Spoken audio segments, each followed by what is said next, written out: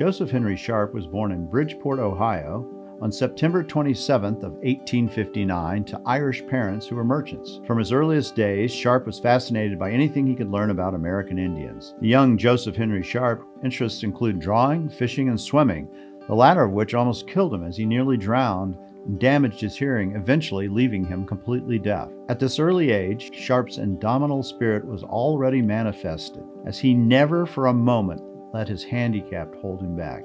He learned to read lips and began to carry a pad and pencil with him wherever he went, never once losing his optimistic outlook on life. It was around this time he began to realize that he had a natural facility for drawing and he sketched often in the outdoors. When Sharp was 12, his father died, leaving the family with almost no income.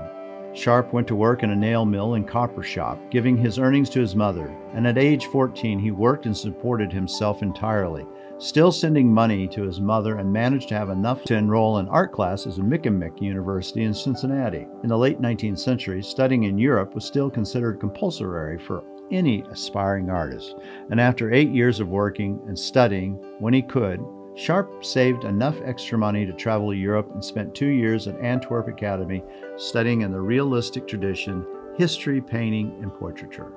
Sharp's first trip to the West was in 1883 at age 24. He visited pueblos in New Mexico and the cities of Santa Fe, Albuquerque, and Tucson.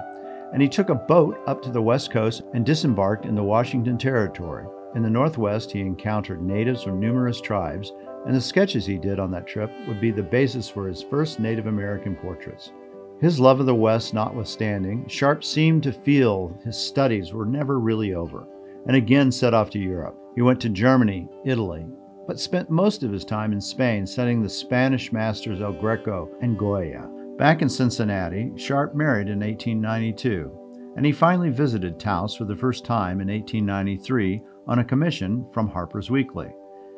He was captivated by the unspoiled life of the natives in Taos. The pictures he completed for the commission were very well received and led to further illustrations, work, and numerous publications. In spite of this success, Sharp still felt that his education was incomplete, and he went to Paris for two years of further study. It was in this class in Paris that he first met Bert Phillips and Ernest Blumenschein. He regaled his new friends with stories of the West and showed them several of his drawings.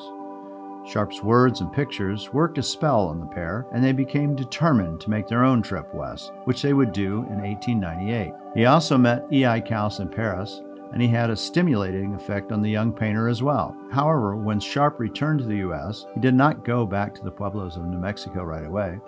He taught in Cincinnati, worked as an illustrator, and spent time in Montana, camping on the battlefields of Little Bighorn. He became acquainted and painted portraits of Plains Indians, and in 1900, an exhibition of these portraits would travel to Paris and to Washington, D.C., and would prove to be a turning point in his career. The Smithsonian Institute purchased 11 portraits, and President Roosevelt took an interest in Sharp's work. Roosevelt had the Indian Commission build and finish a cabin and studio for Sharp. Sharp had it constructed at the Little Bighorn at the intersection of two rivers. Two years later, Phoebe Hearst, mother of William Randolph Hearst, bought 80 paintings from Sharp all at once. Suddenly, Sharp was financially independent. While working in Montana, Sharp began amassing a huge personal collection of Native American artifacts and costumes. It was important to him that these things be preserved and understood, and that he was closely connected to and had a thorough understanding of the subject matter. He even made sure that he got to know all of his portrait subjects personally and in this way he was much as an anthropologist as a painter. Once he was independent and could paint freely, Sharp's output was enormous. He sometimes completed hundreds of paintings in a single year. The Northern Plains Indians remained the focus of his efforts for a long time. Sharp felt that his attention belonged there rather than at the Pueblos because he saw the Plains Indians and their way of life dwindling much faster. He knew that Taos would still be there in 10 years. Sharp began to spend some summers in New Mexico, and in 1909 purchased an old penitente chapel to use as a studio. In 1912, Sharp finally relocated to Taos permanently and was a charter member of the Taos Society of Artists, which formed in 1915. He worked and exhibited with the group for many years and, by all accounts, was widely loved and respected. He had a reputation as being friendly, witty, and patient. Sharp threw himself into recording the environment and life of the Pueblo. He generally sketched outdoors and completed paintings in his studio, He continued to enjoy critical as well as financial success, which allowed him to continue his already extensive travels. Sharp was known for his paintings of flowers that often were arranged in large, beautiful Pueblo pots. Sharp also spent several winters in Hawaii before World War II, where he painted numerous paintings, many of them waves crashing on the beach. In 1949, the Gilcrease Museum in Tulsa, Oklahoma, mounted a retrospective of Sharp's paintings and still holds the largest collection in the world of the artist's work. At age 93, Joseph Henry Sharp closed his studio in Taos. He intended to return the following year, but fell ill and died in August of 1953 in Pasadena, California.